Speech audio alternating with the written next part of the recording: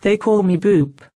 I love the wonderful attention lavished on me at Boca Village Animal Hospital in Boca Raton. I can't afford to be seen walking my owners around Boca del Mar looking like something the cat just dragged through.